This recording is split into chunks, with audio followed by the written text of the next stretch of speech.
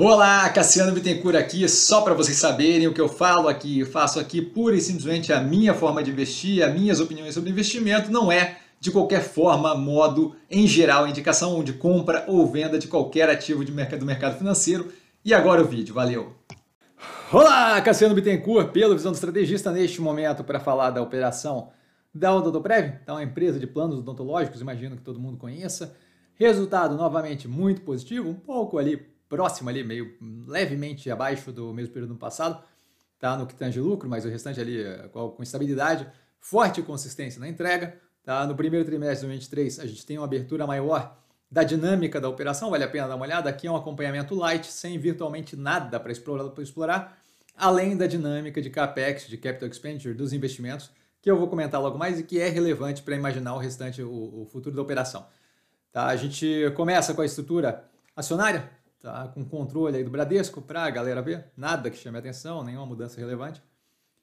Na sequência, a gente vê a evolução do preço desde a última análise, virtualmente a mesma, nada próximo de algo razoável com a melhoria contínua da operação, especialmente com a dinâmica do CAPEX, que eu vou comentar lá atrás, lá, lá, lá para o final. Evolução do setor demonstrando a continuidade da expansão.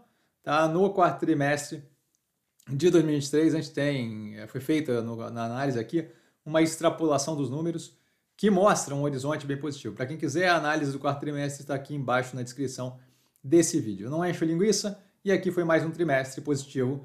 A receita operacional líquida, crescimento de 5,1% ano contra ano, aumento no número de vidas, tá? nada que chame a atenção, mas positivo a consistência de um resultado positivo. EBITDA ajustado virtualmente estável, 0,2% de crescimento ano contra ano, a margem indo a 36,8% versus 38,6%. Lucro líquido com uma queda de 8,4% ano contra ano, a margem indo é de 32,4% para 28,2% desse trimestre, a margem ainda assim extremamente forte.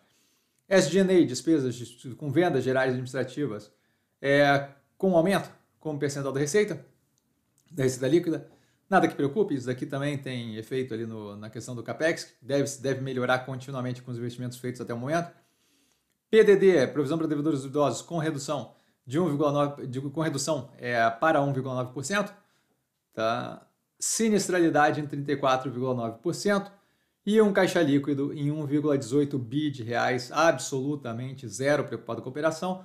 A operação engatilhada, tá? Só aguardar a continuidade do retorno do preço, o mercado ainda muito apavorado aí, tá? Aqui vale finalizar justamente com o que eu comentei, o CAPEX, tá? o Capital Expenditure, os investimentos, que tem redução relevante no trimestre, alguma coisa próxima de 15%, tá? E tem mais redução prevista para os próximos períodos, o que deve liberar caixa, certo? Isso aí pelo ciclo de investimento ser planejado aí como reduzido nos próximos anos, o máximo ali que eles atingiram foi o ano de 2023, não deve se aproximar daquilo ali por, um, por algum tempo, tá? E o SG&A, despesas com vendas gerais administrativas, devem se beneficiar dos investimentos já feitos justamente durante esse ciclo mais forte do ano de 2023. Então, muito positivo para a operação. A gente deve ter liberação de caixa pela redução da necessidade de investimento e melhoria na operação com redução do SG&A como percentual da receita líquida. Tá? A minha posição está aqui do lado, 12,9. É, 12,09 para cliente, eu considero como minha, decisão tomada minha, então conta aqui.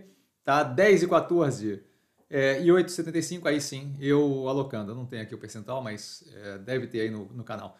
Tá? Resumindo, a operação sólida, preço descontado, consistente geração de lucro que possibilita dividendo enquanto a gente aguarda. Um no-brainer, nada a se pensar aqui, muito tranquila a operação. E dúvida? Dúvida eu estou sempre no Instagram, arroba investir com sim. Só ir lá falar comigo, não trago a pessoa amada, mas estou sempre lateando dúvida e vale lembrar que quem aprende nessa bolsa opera com um mero detalhe. Um grande beijo e nos vemos nas próximas análises. Valeu, galera. Beijão!